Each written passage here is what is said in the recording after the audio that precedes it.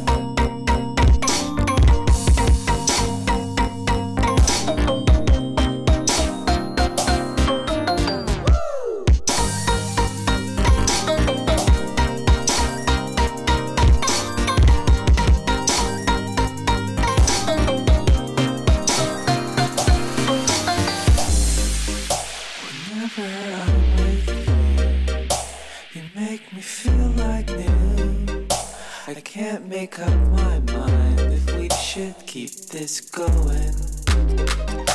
These feelings are all true, but do I deserve you? You can't make up your mind. Do I try to keep waiting?